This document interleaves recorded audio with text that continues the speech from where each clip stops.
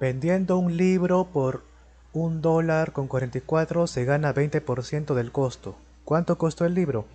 En ejercicio de venta, de costo, de ganancia, aplicamos esta fórmula que es precio de venta igual precio de costo más ganancia. Si hubiera pérdida pones menos P de pérdida. Precio de venta tenemos, ¿verdad? Ahí está, que es 1.44. ¿Cuánto costó? No sabemos, ¿verdad? Eso nos pregunta. La ganancia sí, 20%. El 20% significa 100 abajo. Ya está, 20%. Del, que es multiplicación por costo, o sea, por el precio de costo.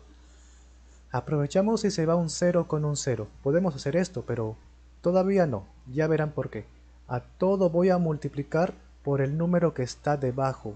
Por 100. Siempre por el que está debajo. Si hubiera 5 abajo, a todo por 5. Y así, a todo por 100. A esto cuando multiplicas por 100, ¿qué pasa?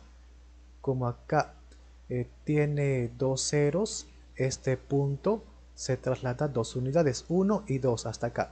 Si tuviera tres ceros, 1, 2, 3 y completarías con un 0, no lo olvides. Así que multiplicando por 100 el punto se va a acomodar después del último 4, o sea va a quedar 144. Acá el punto, pero ahí ya no vale nada, ¿verdad? Porque no hay más números.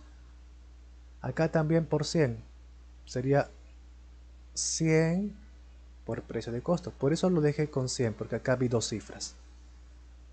Cuando multiplicas esto por 100, se va con el 100 de abajo y queda solo 20.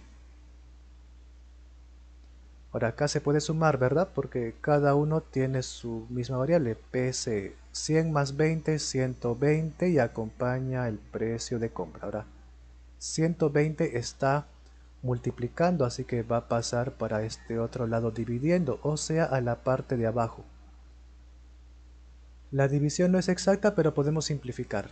Eh, sacamos mitad o también de frente doceava. A ver, entre 12 abajo queda 10. arriba, entre 12 queda 12. 12 entre 10.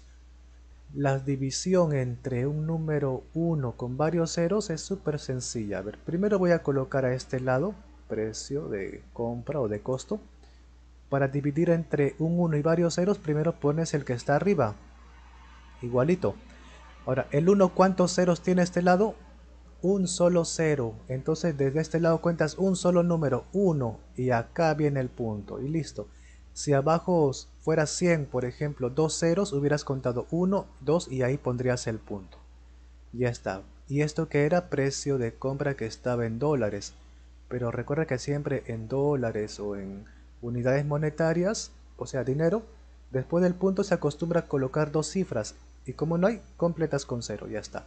Un dólar con 20 entonces es el costo del libro y ahí termina.